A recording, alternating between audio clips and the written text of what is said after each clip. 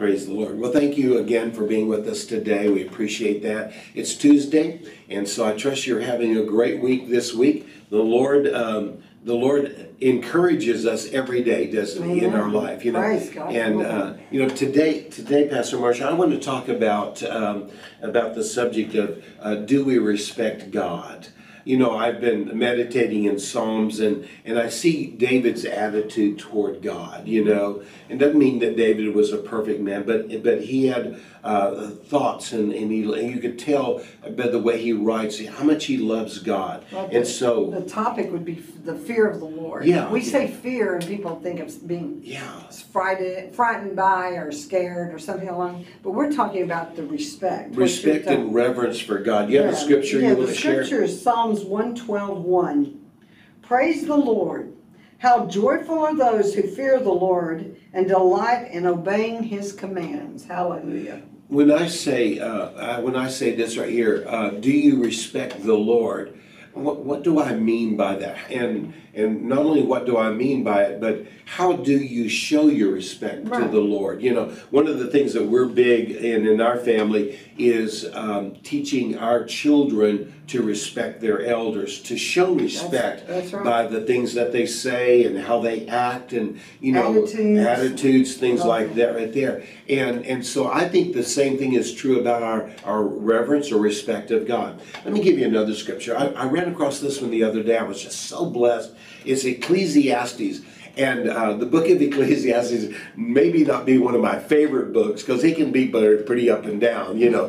but but these are from chapter 12. This is the last chapter in Ecclesiastes, and these are the very last two verses in Ecclesiastes. And he says this: Now what should we learn from everything that is written in this book? Remember, this is a book that says there's a time to be born and a time to die. There's a time to cry. There's a time to laugh. And you know, so Solomon, he's he's talking about all of these uh, things in our life. You he's know, talking about life happens. Life happens, yeah. And this is how he ends. He says he said this is the this is what we should learn from this book. The most important thing a person can do is respect God and obey his commands because he knows about everything people do, even the secret mm. things. He knows all the good and all the bad, and he will judge people for everything they do. And so I, I thought about that. I thought about um, uh, how we respect and how we honor God. And uh, I, am going to say this, um, and I don't mean it in the wrong way, but I think a little bit of fear is healthy uh, and by that I mean awe of God. Right. Because God holds our eternity.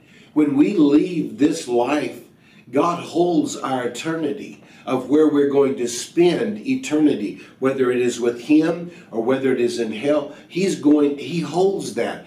And I don't know about you, as much I love God, uh, but I'm I'm kind of like, okay, God, you know, I mean, it's uh, it, it's a healthy respect. It's a healthy. He is uh, God. Uh, he knows. Yes. He knows everything. Boy, that's what that and, verse says. And the Word tells us if you've accepted Jesus as your Savior, and you've repented, you are going to heaven. Yes, amen. But you still have an awe of God in that. How could He love us so much?